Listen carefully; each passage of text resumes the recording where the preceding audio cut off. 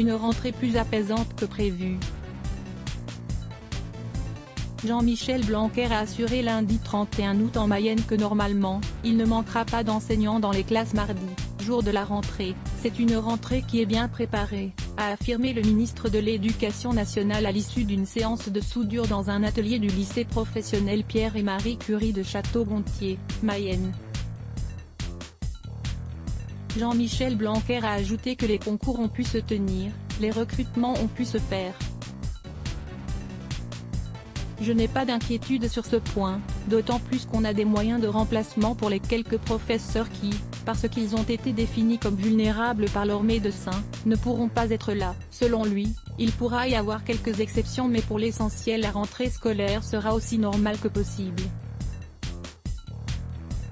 Interrogé sur le risque de voir des établissements fermés, le ministre a relativisé, très peu, ça peut arriver qu'une décision soit prise, dans les semaines qui viennent, forcément ça arrivera ce genre de choses donc on ne doit pas considérer ça comme un échec ou un problème. On doit considérer ça comme le corollaire nécessaire pour cette politique que nous voulons de retour des élèves à l'école. On doit continuer à vivre. Aujourd'hui, la jeunesse doit être notre priorité absolue. Nous leur devons un avenir bien dessiné et nous leur devons une rentrée dynamique a-t-il poursuivi.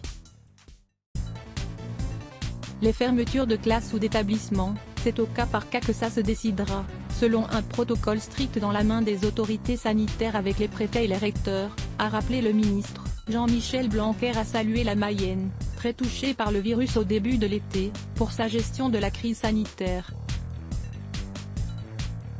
Ce département, par une stratégie adaptée de tous les acteurs, a suggéré cette crise sanitaire et représente un modèle de ce qu'il faut faire en matière de tests, de respect des gestes barrières et en matière de civisme, a-t-il dit. La rédaction vous recommande lire la suite Let's Block ADS.